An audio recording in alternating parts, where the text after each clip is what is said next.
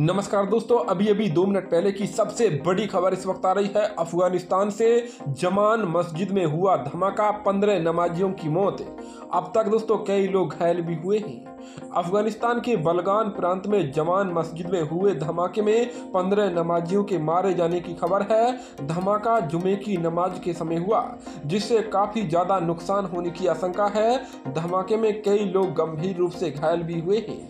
बताया जा रहा कि मस्जिद सिया समुदाय से जुड़ा था। एक सरकारी अधिकारी के हवाले से न्यूज़ एजेंसी रॉयटर्स ने बताया कि एक सिया मस्जिद में विस्फोट हुआ है। अधिकारी घायलों और मृतकों को अस्पताल पहुँचा रहे हैं। राहत और बचाव अभियान जारी है। हालाँकि अभी तक किसी भी आतंकी संगठन ने हमले की ज़िम्मेदारी नहीं ली है, लेकिन मस्जिद में हाहाकार मच गया है। जुमे की नमाज़ के दौरान दोस्तों, यहाँ बम ब्लास्ट हुआ है, जिसमें अब तक पंद्रह नमाजियों की मौत हो गई है। सैकड़ों घायल हो गए हैं, जिन्हें अस्पताल में भर्ती करा दिया है। उनमें कई की हालत नाजुक बताई जा रही है, मृतकों की संख्या बढ़ सकती है। फ़िलहाल दोस्तों, पूरे इलाके को दोस्तों, पुलिस ने घेर लिया है। चप्पे चप्पे पर भारी पुलिस जाब्ता तैनात कर दिया है।